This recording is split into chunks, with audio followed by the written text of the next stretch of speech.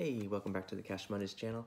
Uh, I'm just going to give you my take on account size and position sizes in your indexes, um, whether it's your retirement or your taxable brokerage account.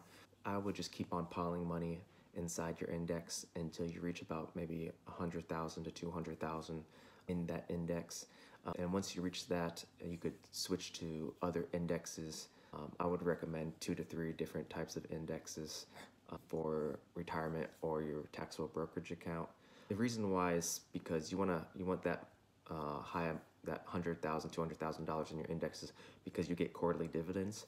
And if you have that much money in inside that index, you'll get a quarterly dividends of between maybe depending on the index, probably roughly between a thousand to two thousand dollars quarterly. On top of that, that doesn't include the growth of the of the price in the index. So you'll get the growth in the price, and then you also get your dividends.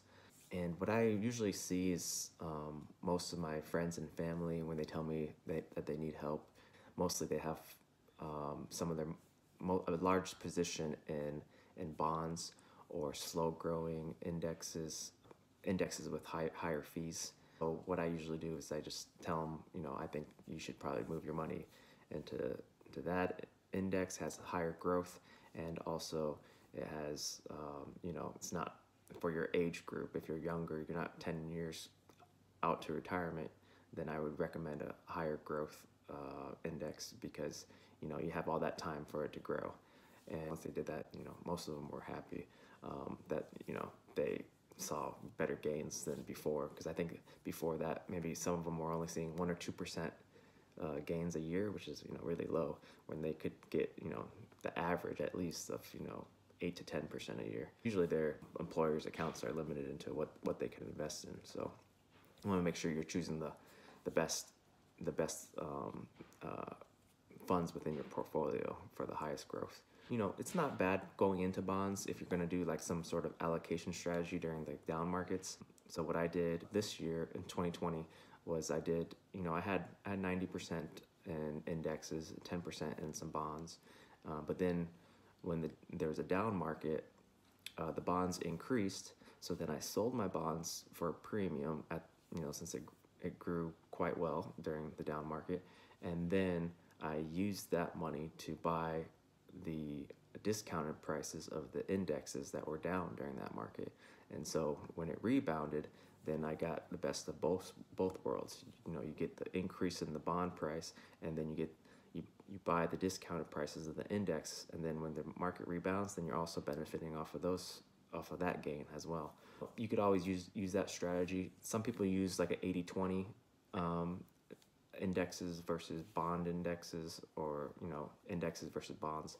And then when there's a down market they take that 20% um, sell it at a premium since the bonds usually go up during that down market and then they invest it into the discounted prices of those indexes um, so that's a strategy that's out there that people utilize um, for you know um, to grow their portfolio even even larger. People also front load their front load their index, which they increase the amount percentage per year that they that they um, put into their 401k in the beginning of the year.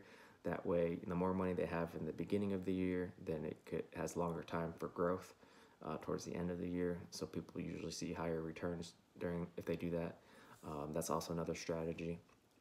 And then, um, and for single stocks, I mean, if you're if you're swing trading single stocks, um, to make to make cash in the market, you could start with any um, any amount. I mean, I have what one of my challenges I'm trying to do for myself is I got 50 dollars sorry fifty dollars in in uh, my TD Ameritrade account. I'm just trying to get that to one hundred dollars. You know, based off of I'm limited by the by the amount of shares I could buy and also you know the stock price of that of of, of the of different companies and so that's just a challenge for me that I enjoy doing I'm just like can I get fifty dollars to one hundred dollars you know and so right now I'm at I turned fifty dollars now it's at about maybe 60 62 to 65 dollars right now. So you know I've already increased it by you know a good 15 20 percent already. Also I also have a, a larger amount I, I, I do trades with as well. Uh, but you know, um, I have a sister, and she started with a thousand dollars, and then you know, now she's just within a matter of a, maybe a month or two, she's at $1,250, I think it was. And so, you know, doing short-term trades, you know, can get you a good good gain. You know, $250 might not seem a lot to one person, but to other people, you know, that's, you know, a couple good dinners. I mean, it pays a couple bills maybe. So, you know, you can start with any any cash amount for single stop swing trading. And then for position sizes, you know, I would probably start low, you know, um, until you see consistent gains before you invest more. You know, like start off with a thousand dollars, or you could even do fifty or lower, whatever, until you see start seeing gains, like consistent gains in what you're doing, and you're more, you know, confident in your strategy.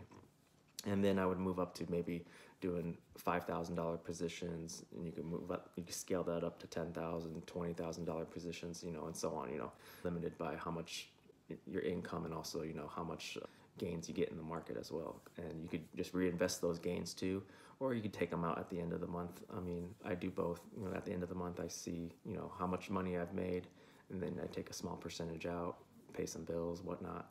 Or, you know, I, most of the time I just reinvest it into the market do a, a daily compounding effect, or you just put put put that put those gains to work for you. You know, the you know higher your accounts balance will be towards the end of the year. So that's my goal, anyways. And my my goal is to get maybe about do $130,000 per year just by swing trading. But realistically, I'm looking at maybe I could probably do fifty to sixty thousand dollars swing trading. So, I mean, it's just up to you and your goals.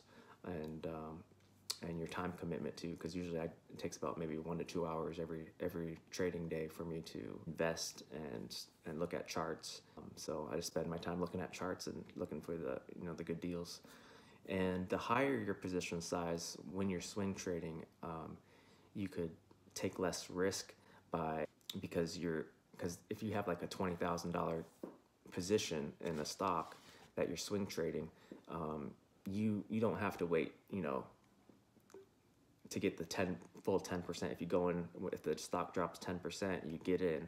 You don't have to wait the full 10% when it recovers um, to get out. I mean you could get out at 2% and you know you'll get $400 you get out at 4% that's $800 you know. You don't have to wait for the whole full 10% to get $2000 and get out um, based off of that trade. I mean i what i usually recommend is you know you know don't get greedy.